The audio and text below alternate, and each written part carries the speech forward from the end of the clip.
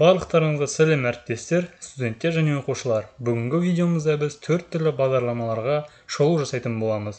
Біздің қарастырғалы отырғанымыз экран бетінен видеожазба жүргізу болып келеді. Сонымен қатар бұл бағдарламалардың артықшылықтары мен кемшіліктерін қарастырып салыстыратын боламыз. Ендеше шолуымызды бастайық. Ең алғашқы шолуды мен окам бағдарламасынан бастаймын. Бұл бағдарлама жазылуы тегін. Бұның жазылуға арналған сілтемесін осы видеоның астындағы жазбаға қалдырып кететін боламын. Әдеттегідей. Мысал ретінде мен осы жазбаны осы бағдарлама бойынша жазып жатырмын қолданып.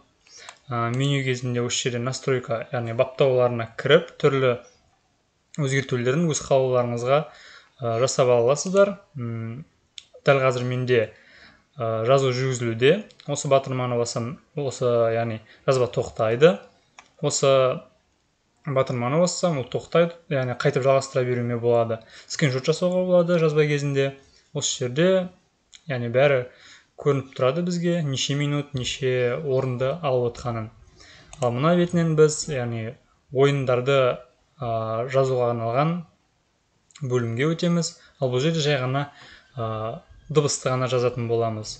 Бұл бағдарлама өте жақсы қолдану өте оңай бірақ бір кемшілігі ода көріп тұрғандарыңыздай жарнамалар өте көп ұзақ. М. Жалпы осы бұл бағдарлама өте қарапайым қолдануға.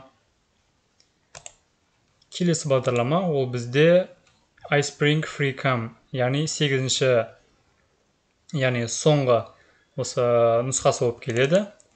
Оны ашқан кезде міне осындай қарапайым интерфейсі бізге көрінетін болады. Міне осы жерде жаңа запись жүргізе аламыз. Ал бұл жерде біз өзіміздің сақтаған яғни жүргізілген мысалға түсірілімдерімізді экран бейнесін осы жерден біз көре алатын боламыз. Мына батырманы басқан кезде түрлі баптаулар шығады. Шығу экспорттау немесе жабу біздің түсірілген осы видеомызды сақтау қалай сақтау және оны ашу болып келеді. Жаңа запись жүргізетін болсақ мысалға бізге осындай бейне ашылады. Бірінші біз таңдалып мысалға түсіргіміз келетін қандай да бір объектті осындай бір аумақты өзгертуімізге болады. Айта кетерлігі бұл окам бағдарламасында бірінші бағдарламада айтып кеткендей дәл осындай өйстіп яғни аумақты өзгерте аламыз. Төменгі жағында біз микрофонды өшіріп қосатын боламыз ал бұл жаңа яғни жазбаны бастау үшін қосу пернесі болып табылады. Егер мен бұны қаласам толық бетке жаза аламын. Міне осылай болып келеді 1920 да 1080 қандай да бір бағдарламаны ғана мысалға жүргізуімізге болады. Мысалы белгілі бір областы яғни аумақты. Ал бұл жерде түрлі баптаулар болып келеді. Яғни батырмалардың көмегімен жылдам басқаруға. Ал бұл жерде кеңейтілген баптаулар бұл бізге яғни біздің осы батырмамыздың оның жарық болуы көрінуі және басылған кездегі түрлі осындай функциялары бізге көрінетін болады. Микрофонды дұрыстауымызға болады. Жалпы осы бағдарлама өте қолдануға жеңіл және жақсы. Видеоны түсіріп болғаннан кейін мысалға осындай мінекей дәл қазір видео жүргізуде осы аумаққа енді осыны тоқтататын болсақ.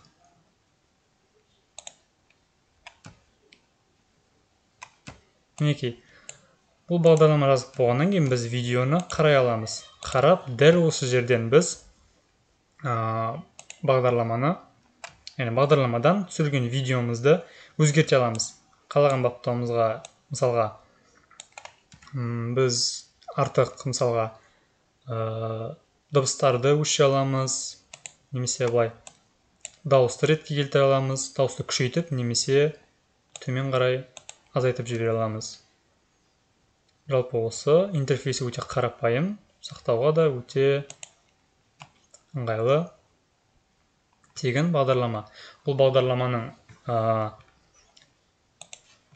менің ойымша жақсы бағдарлама өте қолдануға тек қана осы яғни экран бетіндегі жазбалар жүргізуге интерфейсі өте қарапайым түсінікті.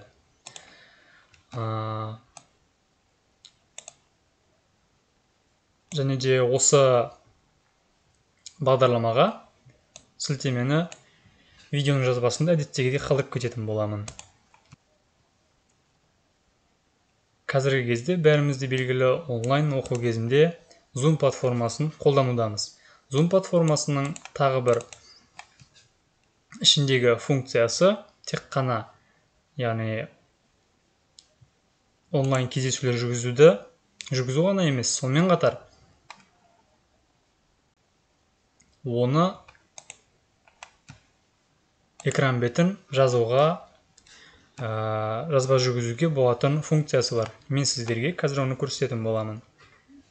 Яғни үшінші бағдарлама ретінде бізге Zoom бағдарламасы ашатын боламын. Мінекей қосқан кезде осы запись батырмасын басатын боламын. Сонымен бізде көріп тұрғандарыңыздай осы жерде жазба жүргізілуде. Біз жазбаны тоқтатып қоя аламыз. Сосын ә, мысалға жаз, жаз, жазғымыз келмеген жерлерді өтіп кетіп сосын қайтып жалғастыра аламыз. Немесе мүлде тоқтатып тастауымызға болады. Тоқтатқаннан кейін бізде файл mp4 форматында сақталатын болады. Файл сақталған жерін көру үшін осы жерге видеоның баптауларын өтеміз. Сол кезде запись батырмасын басамыз. Осы жерде открытый дегенді басамыз. Бұл жерде біз осыны өзіміздің жазған видеомыздың орналасуын өзгертуімізге болады осы батырманы басып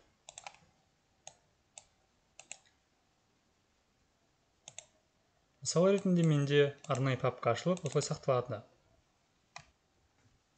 келесі шолу бізде яғни егер де сіздер осындай бағдарламалар жазғыларыңыз келмесе немесе орын жетіспеген жағдайда біз оны интернеттен біз онлайн түрде жүргізе аламыз ондай мысалға түрлі. Ол үшін біз ә, интернет желісінен көптеген мысалға осындай онлайн жазба жүргізуге болатындай түрлі қосымшалар бар түрлі сайттар бар веб бағдарламалар. Сон, соның бірі мысалға epowersoft.com сайтындағы осындай бізге онлайн түрде жазба жүргізуге мүмкіндік береді. Бұл онлайн яғни жазбаны таңдамас бұрын ә, баспас бұрын бізге лаунчерді басып алуға яғни жазып алуымызға жүктеп компьютерімізге тура келеді. Неге? Өйткені онсыз жұмыс істемейтін болады. Оның көлемі өте үлкен емес. Айтарлықтай көлемі өте аз. Сонымен біз басамыз. Басқан кезде біздің жазып алынған ә, орнатылған лаунчеріміз іске қосылады. Мінекей көріп тұрғандарыңыздай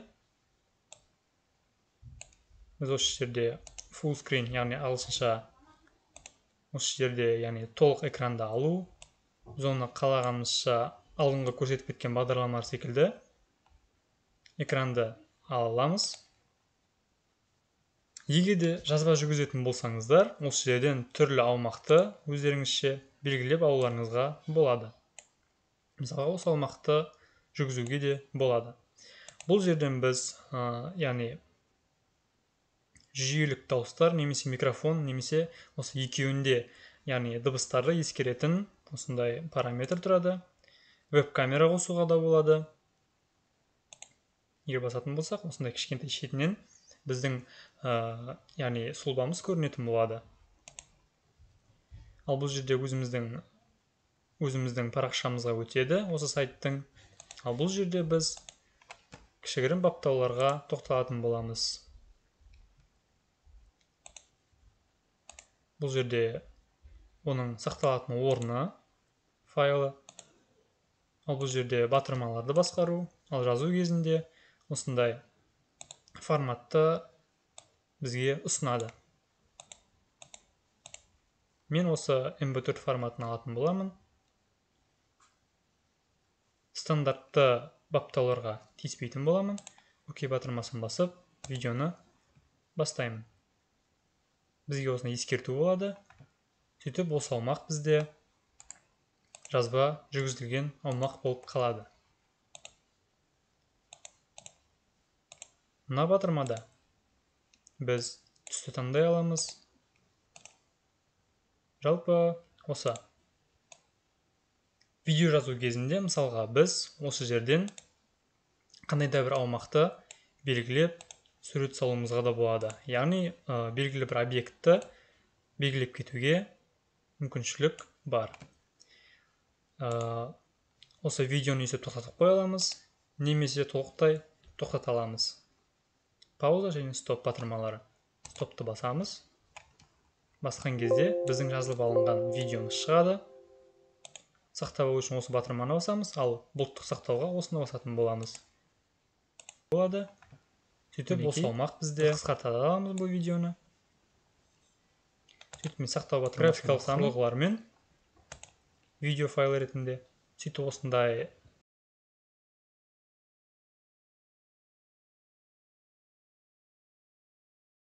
Бұл бағдарлама яғни осы лаунчер өте тиімді болып келеді. Онлайн түрде жазуға ондай көлемді алмайды компьютерімізде. Сонымен осыны жабайын. Ә, мінекей сонымен біздің бағдарламалар жасаған шолуымыз осымен соңына жетті. Сілтемесін видеоның жазбасында қалдырып кеттім әдеттегідей. Тамашалағандарыңызға рахмет.